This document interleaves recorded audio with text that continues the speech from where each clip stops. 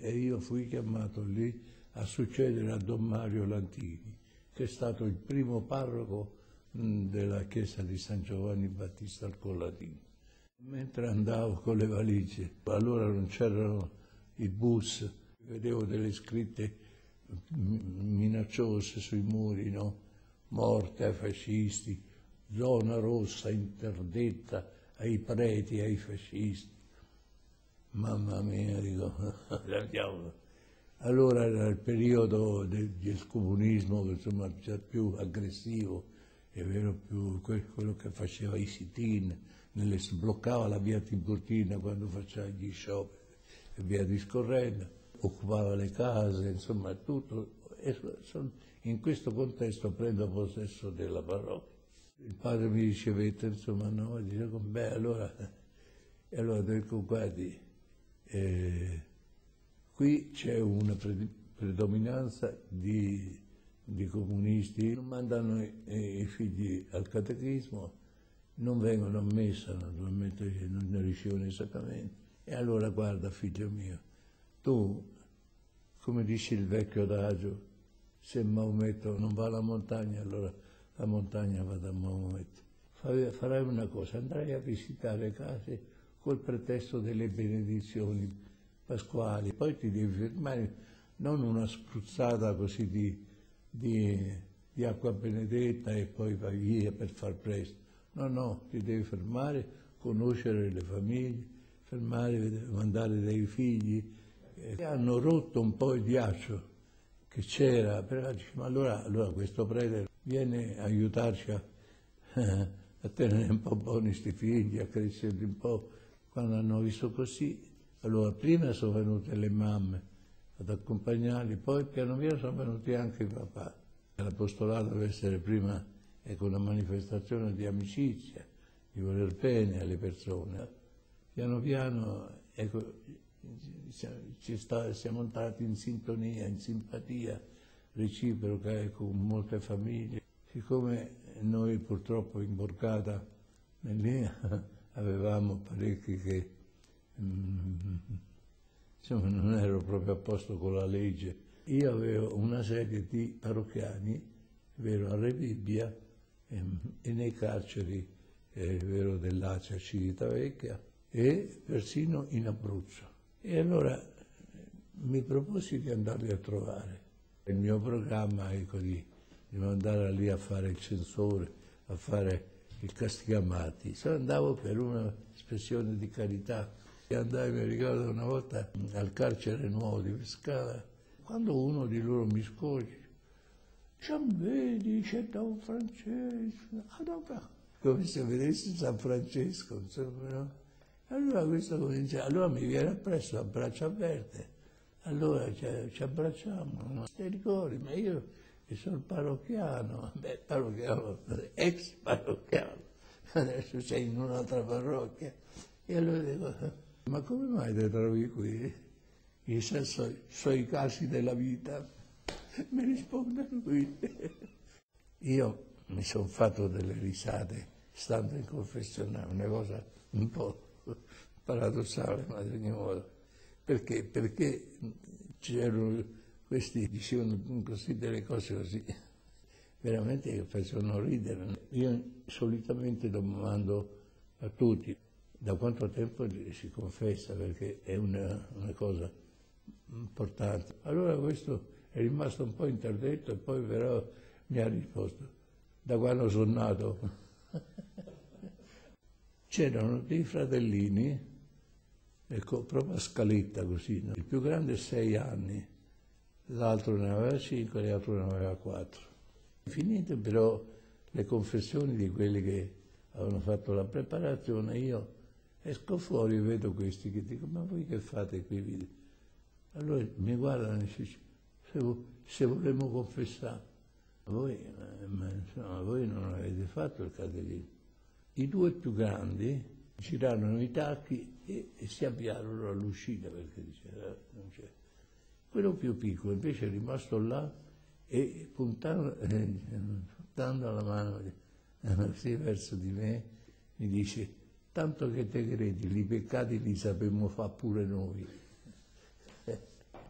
l'Ufficio Nazionale delle Comunicazioni Sociali. Allora io eh, fui nominato e apparve sull'osservatore romano come tutte le nomine che fa il Papa.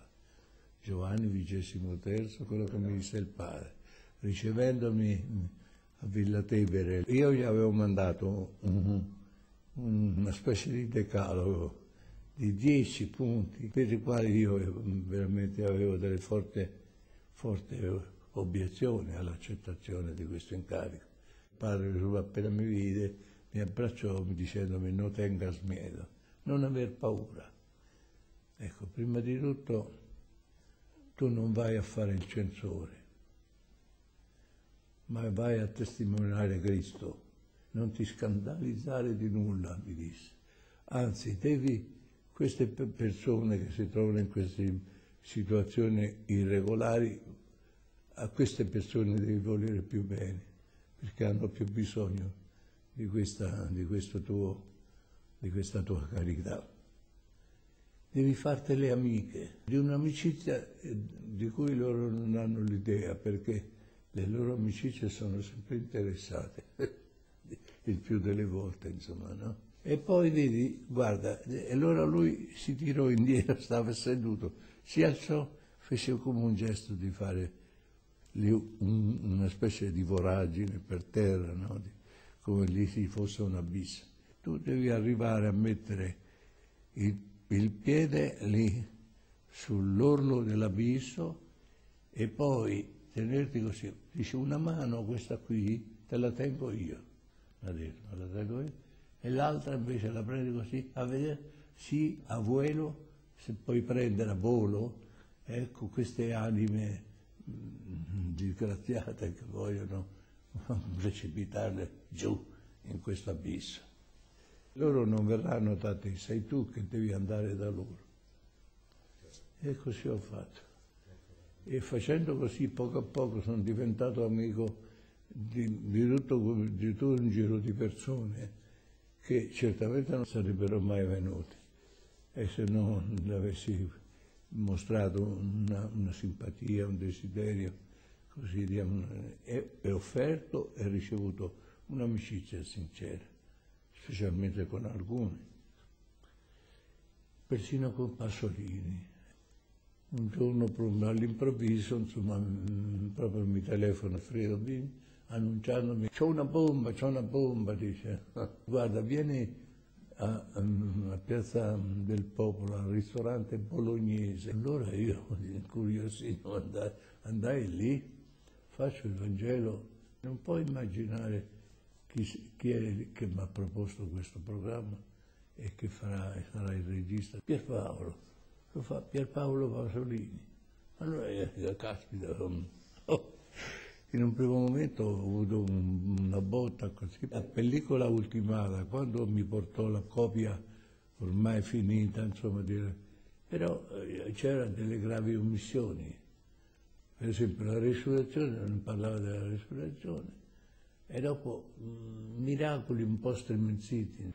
E questo è ritornato sul set, ha ricominciato da capo, anche cose costose, insomma, però è stato docile, voleva fare un film povero, spoglio, nudo, insomma, proprio perché è nello spirito proprio del Vangelo di questa essenzialità, questa nudità, questo spoglio delle cose mondane.